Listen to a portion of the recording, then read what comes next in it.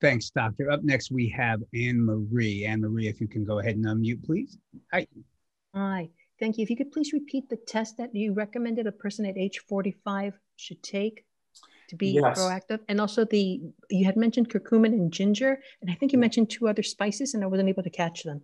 Please. Yeah, yeah sure. So, uh, so I, I mentioned cognoscopy.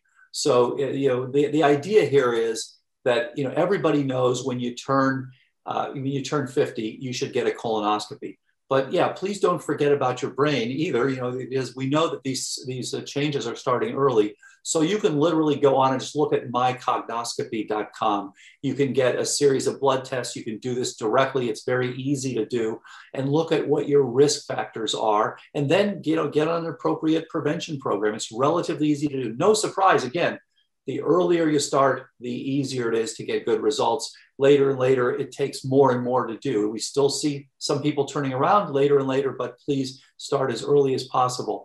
Then there are all sorts of things to do in terms of anti-inflammation. As I mentioned earlier, you want to resolve the inflammation, as we've learned uh, previously that it's critical to resolve it first and then also to have an anti-inflammatory but more important to find out what's causing the inflammation and, and reduce that remove that. So yes um, i mentioned you know ginger curcumin omega-3s resolvins i mean there are all sorts of other ways to go at this. Um, you know everybody has their own favorite uh, for anti-inflammatory effects. And some of this is just, you know, eating appropriate anti-inflammatory foods and things like that. Lots and lots of things you can do. Some people like to, you know, like to get uh, uh, like turmeric and just, you know, shave a little bit on each meal. That's a common thing that's that's done. Uh, very, very helpful. So there are lots and lots of ways to go after inflammation. But again, make sure that you understand why it's there and remove the source, first. that's going to be critical. Thanks, Dr. Bredesen. And up next, we have Benny. Benny, if you would go ahead and unmute yourself. Hi. Thank you. Doctor, I've read that heart disease, stroke, and Alzheimer's correlate. Do you think high fat animal foods may cause amyloids and plant based diet might prevent or reverse Alzheimer's?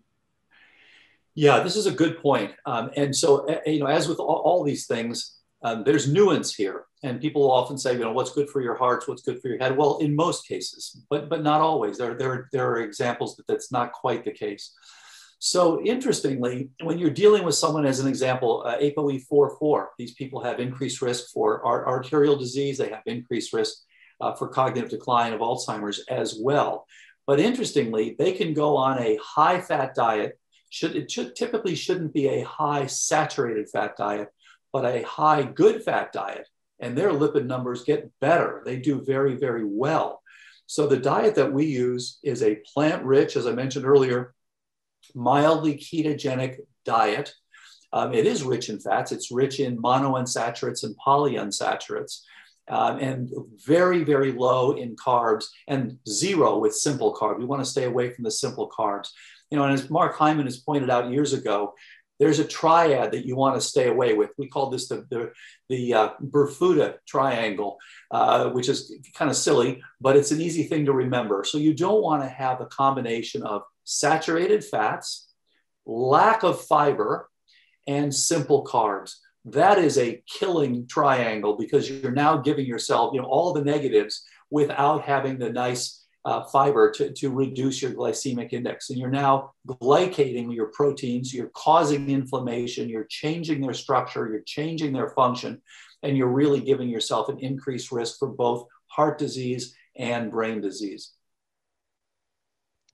Thanks, doctor. Up next, we have uh, Vera. Vera, if you'd go ahead and unmute yourself, please. Hello. I was wondering if you will be having a doctor or scientist in the Connecticut area um, participating in your study uh, later this year that you mentioned. You know, that's a great question. So we're just, it's going to, this first group had three physicians. This next one's going to take eight physicians. Um, and we don't yet know about the Connecticut area. It's a great question. Likely to have someone in Miami, likely to have someone in San Diego, uh, likely to have someone in Cleveland. Um, we don't yet know about Connecticut. It's a great question. We have had people though that have trained in our protocol who are all who are all over Connecticut, New York uh, area. Thanks, doctor. Up next, we have Marilyn Miller. Uh, yeah, Marilyn, that's right, Marilyn. Thank you. If you can unmute Marilyn, thank you. Hello, thank you so much. Um, thank you, Marilyn. My my partner um, actually was having some symptoms at you know uh, late 60s, and she went through your protocol with Dr. Nancy Lonsdorf, and it helped tremendously. So I'm so happy to hear that. Yeah, Nancy's been fantastic. So glad that she's doing this. And of course, she brings her Ayurvedic training as well. Uh, and, you know, we've heard this story. And by the way, you know, I, am in the same situation. I'm, I'm about to turn 70. Um, so I'm thinking about myself and say, hey, you know, I want to make sure that I have as many more years of good cognition as possible. So I'm glad to hear that she got a good result. Yeah, well, thank you. Um, well, and then, so my question is um, one of the things that we're concerned about is we checked mold because my partner had mm-hmm. some indicators on the blood test that she might have been exposed to mold. And yeah. so we had people look at her house and we had the ERMI test. Yeah. that's really controversial, I found out. Yeah, then, although this is, you know, this is Environmental Protection Agency set up the ERMI test. Uh, what was her ERMI score? Oh, um, high. It, it was fairly, I think it was fairly high, but not not terribly. But um, but then we had two mold companies come in and they said we can't find anything. And then we had our air tested in all the major rooms, and they said no, you don't have. Uh, okay. Maybe one room that was maybe a little bit, but that's my question is, how do you have any advice? And then I heard the EMMA test is better than the ERMI. Do you have any advice on the mold and how to track that down? Yeah, and then of course there's also the HERTSMI-2 test, which is another good one. So yeah, and you know this is this has come originally from the some of the pioneering work of uh, of Dr. Richie Shoemaker, uh, and uh, you know he found over the years that there were people that had all sorts of different health problems that could be traced back to their exposure to these various mycotoxins and other inflammagens, as he's pointed out. Uh, you know, water damaged buildings have all sorts of problems and people can sometimes even notice and you can measure this. Now one thing that's really helpful is to combine these things. Did she check her c4a tgf beta 1 mmp9 if these are all completely normal then it's likely that she's not having major problems with mold. On the other hand if these things are high and people sometimes forget to check them and then when they finally check them they'll find out oh my gosh they're off the off the charts uh, so I think this is very, very helpful to know. I have to say, as a classically trained neurologist, I was shocked to see because we never talked about mold doing anything to anybody. We never talked about whether it was a potentially a cause of cognitive decline or Parkinson's or other problems.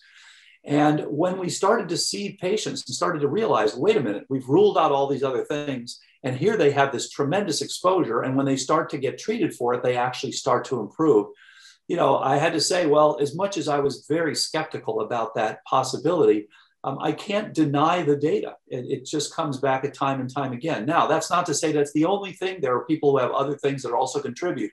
But for people who have high exposure to these, again, you want to look at both. Are the toxins there? And is there a response there? So I would check with her, please see about what was her C4A, what was her TGF beta 1, what was her MMP9? Dr. Shoemaker likes to look at several others as well, like ADH, for example, and VIP. But no question, these can be very helpful. Then the other thing is look to see, you know, what happens when she's away from that, that source. You know, what happens when she when she's out. And then there are some basic things, and we have all this is written in the books.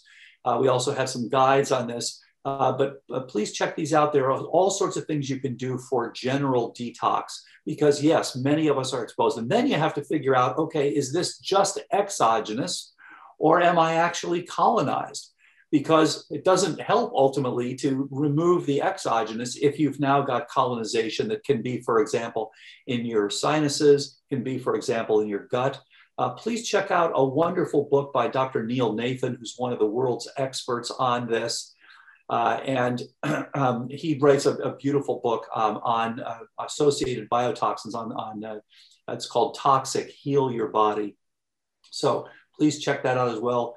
Uh, Neil has done a fantastic job with looking and treating uh, these toxins. So uh, certainly I agree with your point. And you know, this is a relatively common problem, unfortunately. And so many of us, you know, we're dealing with it, we're, but we don't realize that this is affecting us until down the road when we get problems, inflammatory problems, we get you know, cognitive decline, we get rashes, uh, you know, we get uh, arthritis, things like this that turn out to be. This is really the 21st century is an era in which instead of asking as physicians what it is, what's the diagnosis, we're asking why it is. You know, what is the problem? What, how did it happen? Why did I get cognitive decline? Why did I get arthritis, lupus, you know, on and on and on. Uh, so I think all those things could be helpful for your friend.